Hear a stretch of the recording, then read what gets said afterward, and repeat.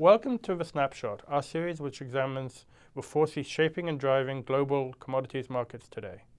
The UK nuclear industry is facing a huge amount of uncertainty following the government's announcement that it will withdraw from a little-known treaty governing the European nuclear sector.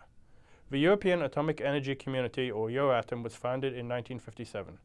It is a pillar of the legal framework for nuclear power generation in the UK and the movement of nuclear materials, including nuclear fuel and radioactive materials for medicine.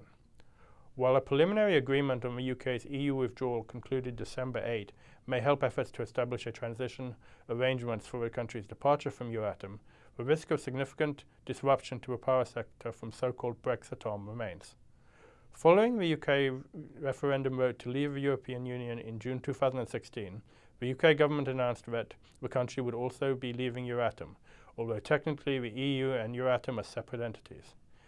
The UK government did not give a specific reason for Brexatom, but analysts have said that continuing membership of Euratom is not compatible with the government's interpretation of the EU referendum as meaning that the UK should no longer be under the jurisdiction of the European Court of Justice, which oversees the Euratom Treaty.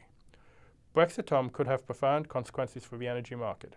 If a successor arrangement is not in place prior to the UK's departure from Euratom, a significant proportion of the UK's nuclear power stations could grind to a halt as the uranium for fabrication of nuclear fuel plants will not, that fires the plant, of the nuclear fuel that fires the plants will not be allowed into the country.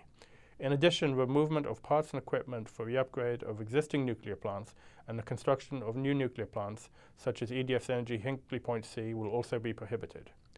Trade body, the Nuclear Industry Association UK, has lobbied for transitional arrangements that would extend the EU's membership of Euratom. The UK government has also introduced a nuclear safeguard bill that would cover some of the areas currently under the Euratom Treaty, but this legislation will not solve all the problems raised by Brexatom.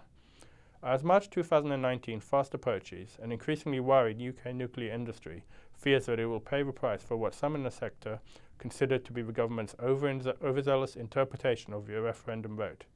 Until next time on the snapshot, we'll be keeping an eye on the markets.